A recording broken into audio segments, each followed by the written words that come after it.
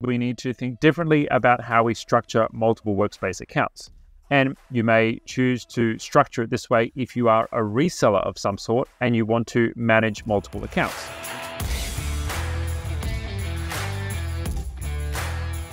Is there no way to assign different workspace licensing packages to each user as required? I want to manage all my clients from one Google Admin console, but the problem is not everyone wants to pay for the enterprise license, and therefore we need to create their own Google Admin. Okay, so this is a very interesting question.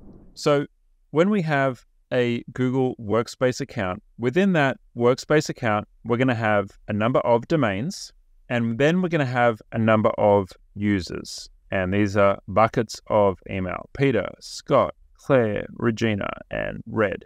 So, what some people will do is they will create multiple domains for different businesses under one workspace account. And I don't know why you would do that. But I think sometimes if someone's maybe like a web host or a developer, or they want to like help out some friends and family and they want to be able to administer multiple Google Workspace accounts, maybe they go with this strategy. And what ends up happening is we have multiple businesses under the one account, which is a big no no. We definitely don't want that because what happens there is data can accidentally be shared between multiple different people or multiple different businesses. The administration obviously turns into a nightmare pretty quickly. And there are some limits on Google Workspace accounts that you're probably going to run into. As an individual business, you probably won't run out of aliases. But if you're a business trying to have multiple customers under one workspace account, well, that's definitely not going to work. So, what we need to do here is we need to think differently about how we structure multiple workspace accounts. And you may choose to structure it this way if you have multiple brands. You may choose to structure it this way if you have multiple business units that are separate from each other, or maybe you have different directors or different shareholders. You may choose to structure it this way if you are a reseller of some sort and you want to manage multiple accounts. So, what does that look like? Well, for starters, so we're going to set up workspace account number two and workspace account number three. Great. Okay. So I've got three different Google Workspace accounts here now. And with my three different workspace accounts, I will have different domains, right? So let's put the second domain for the second business there and another domain for another business here. Great. Call that domain three. And then for each one, you're going to have users, right? So here's our buckets of email for each user. And domain two, we're going to have our buckets of email for each user. Now, each one of these accounts is going to have a special account, which is a super administrator account, right? Super administrator account. So that's the super administrator. There, there, super administrator. Okay. And typically, each super administrator will also be issued a mailbox.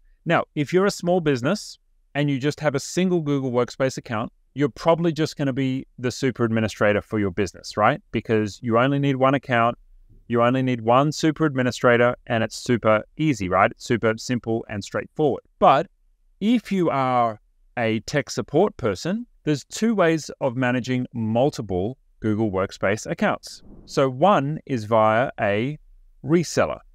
So if you're a reseller, which we are, we actually have background access to each one of these accounts. Now, we can act as a super administrator, but it doesn't cost a license for us to be a super administrator. We just have basically backdoor access.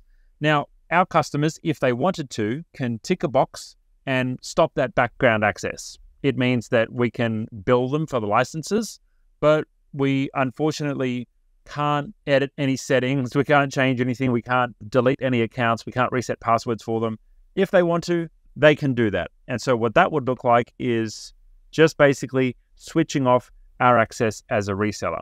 But because we're in a tech support role, not many customers are going to do that, right? For the most part, we're going to be there and we need access to be able to troubleshoot things on their account. So they're going to give us the access for managing their accounts as a reseller. Great. Okay, that's nice and useful.